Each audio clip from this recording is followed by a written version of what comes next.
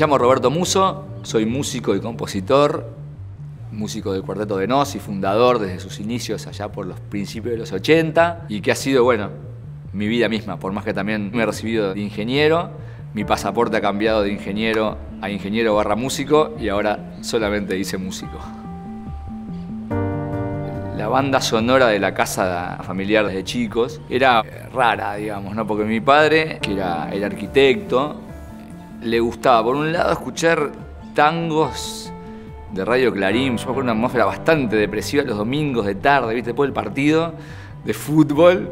Era el domingo que estaba de invierno anocheciendo y mi, viejo ahí en el estudio de él con las cosas de arquitecto escuchando Radio Clarín. Y mi madre, por otro lado, le gustaba una mezcla de, de cantantes románticos tipo Leonardo Fabio. Eh, después se corrió un poquito quizás a Serrat. Le gustaban también Citarrosa, le gustaban los olimareños. Y se escuchaba, viste, una mezcla muy rara en casa. Aparte, a veces escuchaban los discos simultáneamente, mi padre en su lugar y mi madre en otro lado. El momento que hizo un poco clic mi vida y la de Ricky también, sobre todo a, nivel musical, fue un día que apareció mi tía abuela, Esmeralda, con un disco de los Beatles abajo del brazo. Entonces nos dijo, escuchen esto, chiquilines. Y me acuerdo que era el Rubber Soul. Este, entonces, claro, pusimos con Ricky en el tocadisco y dijimos, esto es una música que ¿De dónde salió? ¿no? ¿De qué planeta era? Yo tendría, ahí va, 11, 10, 11 años, y Ricky 8 por ahí. Y con eso nos, nos dijimos, este, bueno, yo, quiero hacer esto. yo quiero ser John Lennon cuando sea grande. Le dije a mi padre, che, yo quiero aprender a, tocar las canciones en la guitarra. Entonces ahí mi viejo agarró y nos, inscribió en una academia de música que se llamaba el Centro Musical Moderno. Y al tiempo le pedí a ver si me regalaban para el cumpleaños una guitarra, símil Fender y, un, amplificador que era marca Norton, creo que unos de madera azul ahí. Con Ricky, con Santiago, Tabela, que ya lo conocíamos ahí también desde el liceo, no nos gustaba lo que estaba la, la música disco, ni a los bailes, ni eso, estábamos más bien abocados a sacar canciones de Led Zeppelin, de Pink Floyd, escuchábamos los discos nosotros solos y teníamos unos, unos códigos herméticos entre nosotros. Por algo también el cuarteto de nos, de nosotros venía un poco de eso, ¿no? Éramos el juego nuestro y nadie más lo entendía. Entonces empezamos a tocar covers de todo eso. Empezamos a pedir por favor que nos dejaran tocar en los cumpleaños de 15 las hermanas nuestras. Les arruinamos la fiesta a más de una. el rock en castellano no me, no me seducía como para, para empezar a imitar, digamos, algún tipo de letra. Entonces como que me escondía en el idioma y hacía canciones tipo este, de, alguien que tiene problemas con su chica en inglés, igual que las de los Beatles de los Early Years. Me preguntes cómo se llamaban porque no, no lo sé. El título de ingeniero es un hecho tan concreto. Ta, desde el último examen tenés el sello, el diploma, lo colgaste en la pared y es un primer eh, logro con un objetivo cumplido, ¿no? El método científico es el mismo que el método creativo. El ensayo y error, la creatividad en sí misma, las métricas de las canciones, que es una métrica meramente matemática. Cada disco que tenemos, el avisorarlo como, no como una repetición del proceso anterior, sino como tirar todo lo que está en la mesa y barajarlo de vuelta para ver qué pasa. Eso también tiene mucho de método científico, ¿viste?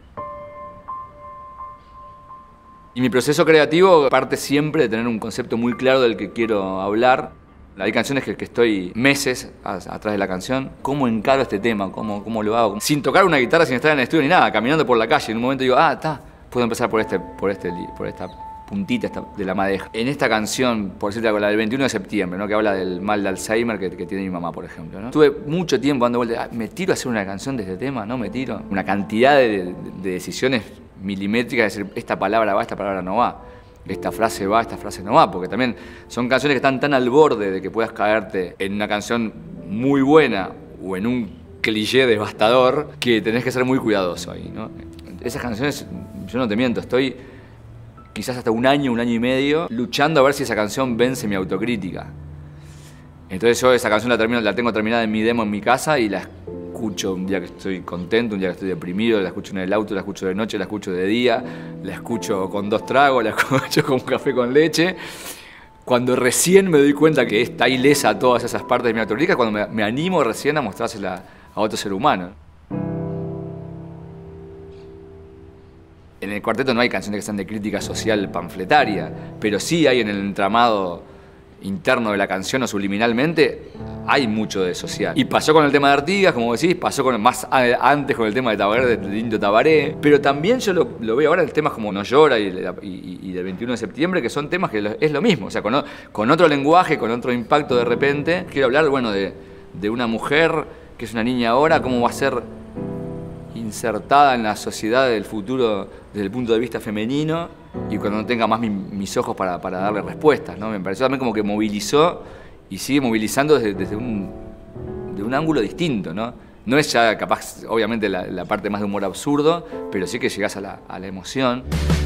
Cuando la nena quiera caminar, se echa andar y se caiga al tropezar, se tiene que levantar. El cuarteto tiene una, una historia particular de que todo siempre ha sido muy paulatino. Nos pasó acá en Uruguay, en Argentina lo mismo, empezamos yendo a lugares para 30 personas y fíjate hoy podemos estar llenando un Luna Park. Lo que pasa en Uruguay muy fuerte y un poquito menos en Argentina y en otros lados es el reconocimiento de la gente por la calle, capaz. Te conocen, ¿no? Sos Roberto del cuarteto y el autógrafo y la foto y el saludo y mucha gente que me dice, ¿no te molesta? que Perdoname, acá el público es muy, la gente es muy, muy, muy, muy cautelosa en ese aspecto y muy, muy, muy respetuosa. Yo siempre lo vi como eso, como un orgullo el de estar, sobre todo para un artista de trayectoria larga, el sentirse reconocido por, por gente de todas las edades y generaciones.